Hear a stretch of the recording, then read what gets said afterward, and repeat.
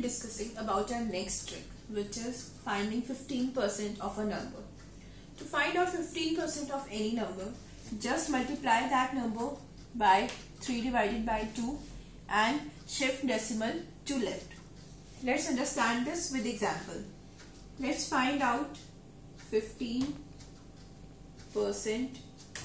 of 30. So multiply 30 by 3 by 2 2 divided by 30 divided by 2 gives 15 15 into 3 gives 45 as the answer. Now shift one decimal to left which gives 4.5 as the answer. Easy? Let's have another example. Let's find out 15 percent of 200 so multiply 200 by 3 by 2 200 divided by 2 gives 100 into 3 300 shift one decimal over here which gives 30 as the answer. Easy? Let's quickly look at another example.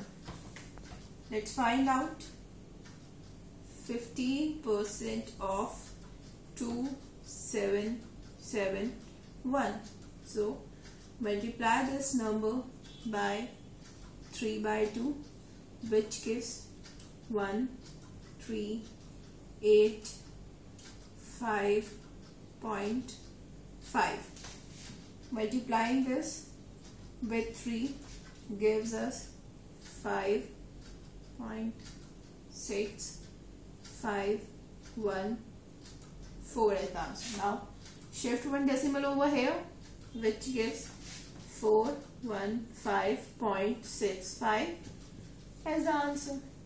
In this way, you can easily find out 15% of any number. To find out percentages of other numbers, please log into indiaedu.com.